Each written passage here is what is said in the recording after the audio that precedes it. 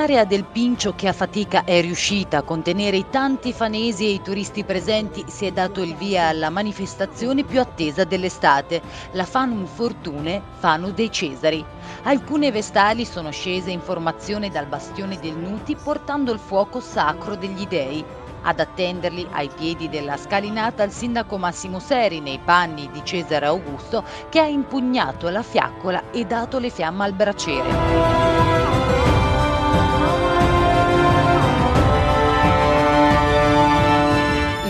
Cittadino ha passato poi il fuoco al vice sindaco e assessore al turismo Stefano Marcheggiani, il quale l'ha distribuito agli organizzatori dell'evento, alle quattro fazioni, ai commercianti, alle associazioni e a un rappresentante del centro storico.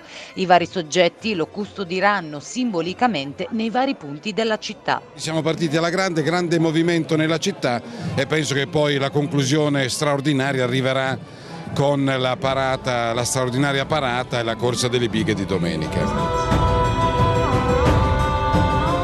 L'accensione del bracciere è stata anticipata da un corteo partito da Piazza 20 Settembre che ha sfilato lungo Corso Matteotti fino all'Arco d'Augusto. Terminata la cerimonia di apertura, i vari protagonisti hanno raggiunto il tavolo dei relatori, dove il professor Luciano De Santis ha dato il via alla conferenza intitolata Miglio dopo miglio, quattro passi sulla via Flaminia.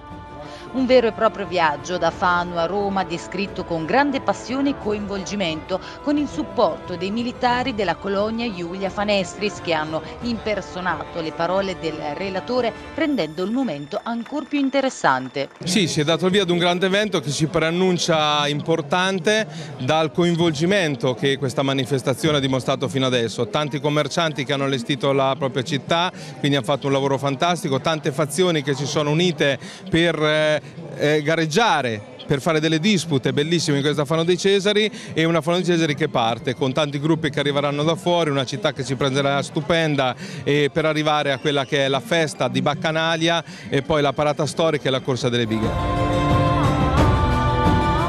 La serata, condotta dal presentatore ufficiale dell'evento, il giornalista fanese Massimo Foghetti, è terminata con un momento di pura dolcezza. Come ogni manifestazione che si rispetti, non poteva mancare il taglio della torta, una piccola opera d'arte realizzata per l'occasione dal maestro pasticcere Stefano Ceresani.